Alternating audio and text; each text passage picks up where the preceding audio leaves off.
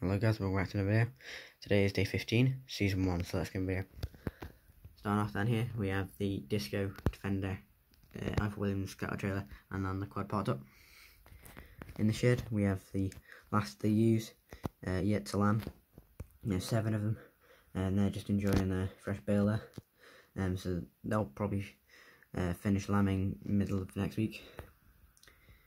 Then here we have uh, the two ewes in the front of lamb this morning, and they're some of the favourite sheep. Um, so we've set up a fourth pen just in case it happens tomorrow, or we have a third one today. Um, but we weren't expecting um, to be uh, have two ewes uh, given birth today. Um, but they both had twins, uh, and they're looking healthy. Um, and then we've got the Suffolk ewe in the back there. She's had triplets, so we're gonna have to take one of hers off and find her spare lamb, a friend, so it's not alone. Then we have the Keenan feeder, tail on the bucket, mock grab, oil tank, sheep trailer, New Holland 7740, Ford 6600, uh, yard scraper, buck rake, and the John Deere on the popped up.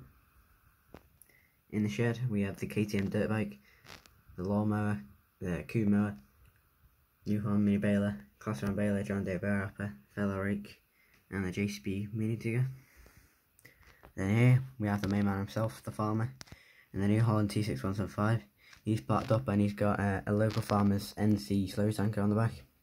Uh, so he's been helping a local farmer spread slurry.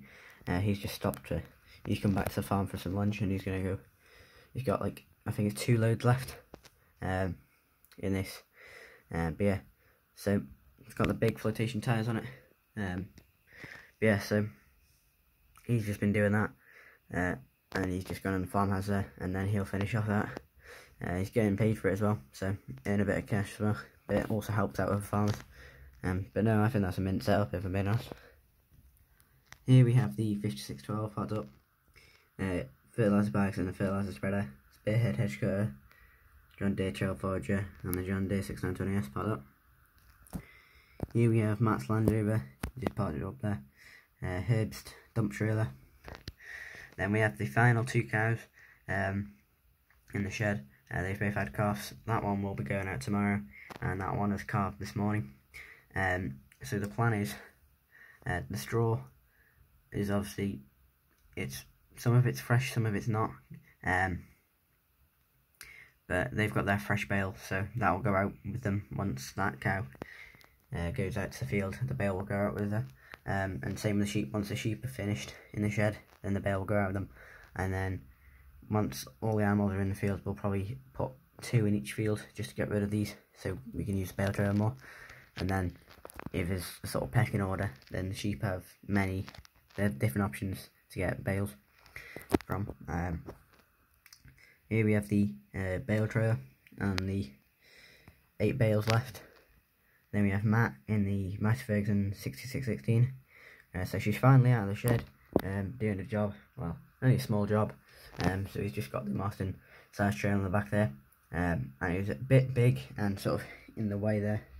Um, so now we've got two spare spot, uh, sort of parking spots for anything.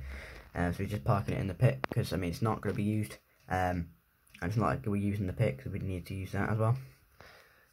And then we have the muck spreader Ifor Williams flatbed trailer, Fleming uh, and a Fleming double bay lifter in the back there. And in the sheep field, uh, this ewe has been let out this morning with her lambs. Uh, then we've got uh, the rest of the ewes, we've got the chickens, and the rest of the chickens and the ducks there. And then, obviously we've got the rest of the ewes. And these two ewes, uh, their lambs are here. Um, they're having a little run around the field in a group um, which not many of them do.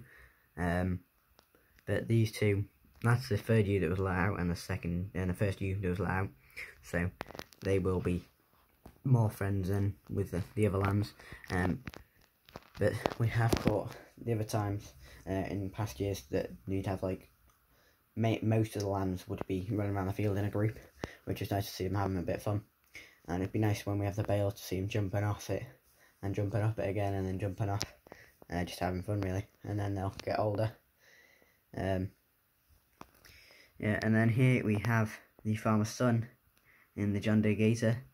Yes, she's finally not parked up in the yard. Uh, it took a while to start her up, I'll be honest. Um, but yeah, he's just got the lick bucket there and he's about to stop and let that out for the sheep because the sheep will need, uh, especially for spring now, they'll need a bit of uh, minerals. So I'll just dump it in the middle of the field. It just helps give them a bit of boost. And then in the cow field, it's quite busy so far. Um, we're still missing two cows, so seven cows and seven calves. But yeah, it's still quite, I wouldn't say cramped, it's quite busy. Um, this is our biggest calf yet. Um, looks a lot like its mum. Um, so it's uh, it's quite big. Um, it's bigger than the other calves anyway. Um, or maybe just looks it. Um, but they're just enjoying themselves there. And then they've got their lick bucket there.